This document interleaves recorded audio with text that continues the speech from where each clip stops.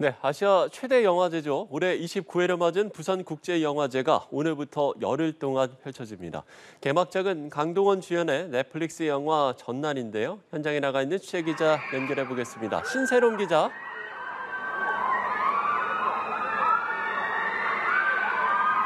네, 제가 지금 나와 있는 곳은 29회 부산국제영화제가 열리고 있는 영화의 전당입니다. 제 뒤로 보시는 것처럼 영화제의 가장 화려한 순간이죠. 레드카펫 행사가 아직 진행되고 있는데요.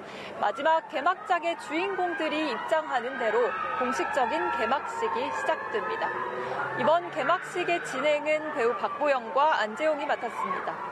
올해 한국영화 공로상은 지난해 세상을 떠난 이선균 배우가 올해의 아시안 여, 아시아 영화인상은 구로사와 기요시 감독이 받게 됩니다. 개막작은 박찬욱 감독이 제작과 각본에 참여하고 강동원, 박정민이 주연한 넷플릭스 영화 전란입니다.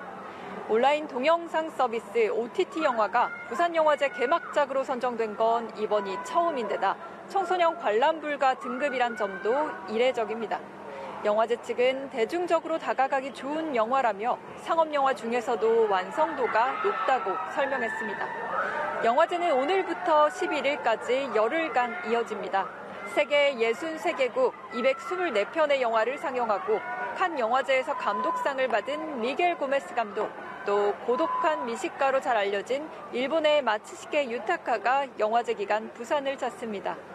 또 강동원과 황정민, 송중기, 설경구 등 국내 대표 영화 배우들도 관객을 만납니다.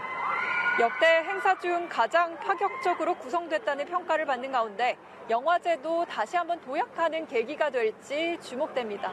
지금까지 부산 영화의 전당에서 연합뉴스TV 신세롬입니다.